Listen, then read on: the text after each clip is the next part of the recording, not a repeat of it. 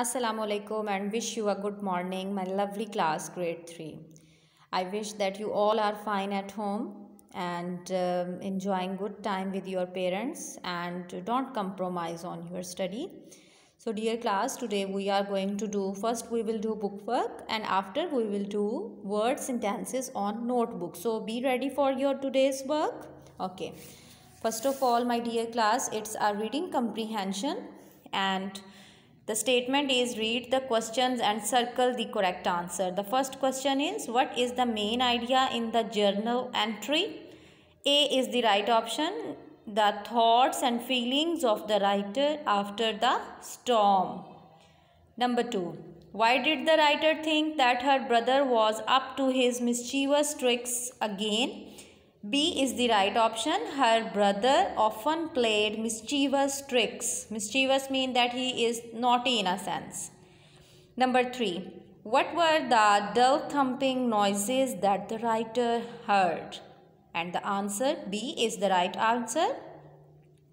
The sound of the falling trees and branches in the storm.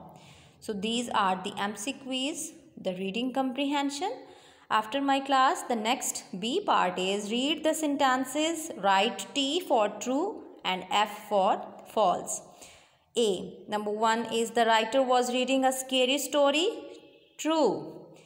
2. The big tree outside the writer house survived the storm. True. Third is the writer made hot chocolate for everyone. True. The writer's neighborhood was covered with ice? True. The workman wanted to have food? True. So all the options are true. Next C part is what happened the morning after the storm. List the steps in the correct order. Here are five sentences and on the next hand on the next side you have to fill in the brackets that what are the correct options as I write here 5, 1, 4, 2 and 3.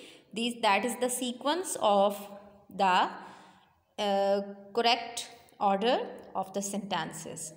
After my dear class, let's move to word sentences.